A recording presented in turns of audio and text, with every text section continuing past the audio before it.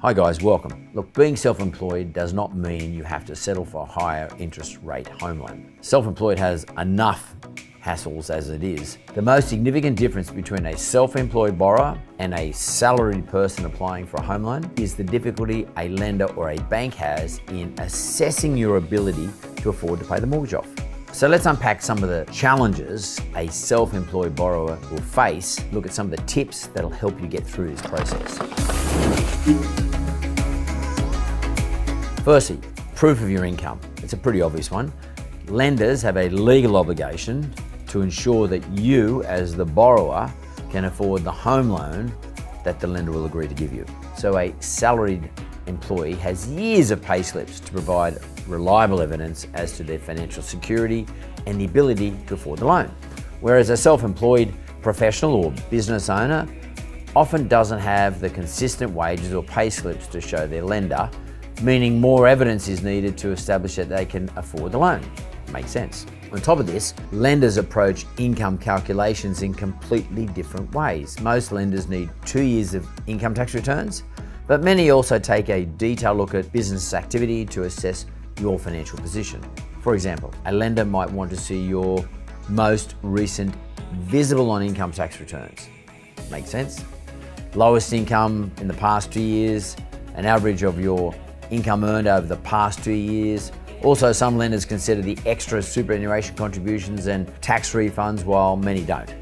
In a nutshell, as a self-employed borrower, different lenders have completely differing approaches to calculating your income for the purposes of that loan application. This can be extremely frustrating to deal with. It means you would need to provide a lot more paperwork and documentation at the end of the day.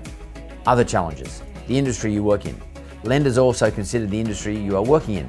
People employed in high risk industries like international travel and tourism will find it harder to secure a loan, the loan amount. A lot of times, self employed professionals aren't able to secure home loans that match their income. For example, this may seem unfair, but if you've seen a recent spike in income or a boost in business and the revenue increase is less than two years old, in other words, you've earned it only over the more recent months, it's unlikely that you will be able to factor this into the loan amount that you're looking for.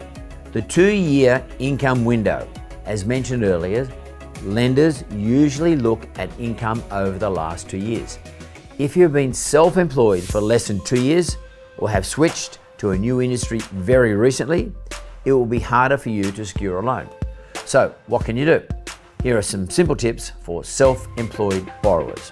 One, don't gravitate towards an alternate document loan without a thorough check. A low documentation loan, as they're known in the industry, as the name suggests, is a loan that requires lesser documentation, but typically this means it has a higher interest rate. Now, you may be happy with a higher interest rate, but just remember that. If this is something you've heard about or are interested in, make sure you seek professional advice because the right preparation and expertise as a self-employed borrower, you still may be able to secure a more regular loan instead of having to go for one of these alternate loans. Two, prepare your documentation. As discussed earlier, the processing time and documentation for a self-employed professional takes a lot of time and energy.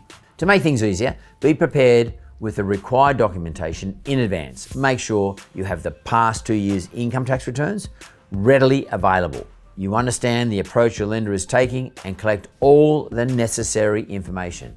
You've got to have a clear picture of how your business works. For example, you need to understand your business's revenue, credit and expenses, and have the details neatly prepared and ready to share with your lender or broker. Try to keep your debt under control. With the lending environment getting more complex, not easier, it's getting tougher.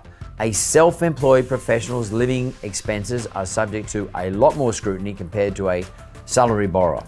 Seems unfair, but it's the case. Keep a tab on your expenses and control online and credit card spending. Four, chat with a mortgage broker.